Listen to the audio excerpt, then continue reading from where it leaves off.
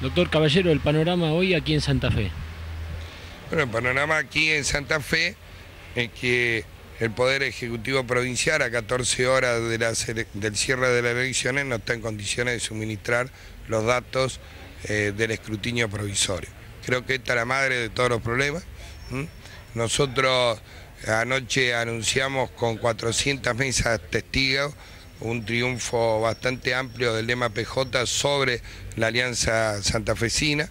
Hoy lo tenemos con 3.000 mesas aumentado en un punto, o sea, 49 a 41, y el problema reside en la interpretación de quién ganó eh, en su lema que obtuvo mayor de cantidad de votos dentro del lema justicialista. nuestro juicio, eh, nosotros tenemos tres puntos arriba, tanto en la de 400 como en la muestra de 3.000. La muestra de 3.000 es prácticamente la mitad de las mesas de la provincia y por lo tanto nosotros creemos que hemos triunfado y estamos acá y nos vamos a instalar en Santa Fe para custodiar el voto que ha depositado el pueblo, porque nosotros no solo somos candidatos, sino también custodios de ese voto. Doctor, ¿usted cree que hay una cuestión interna en todo esto?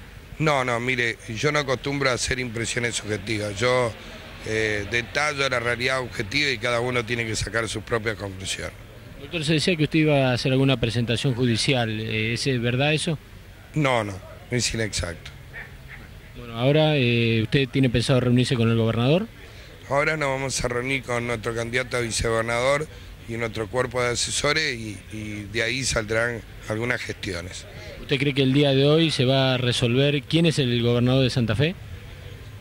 No tengo idea, porque no sé cómo funciona ese centro de cómputo.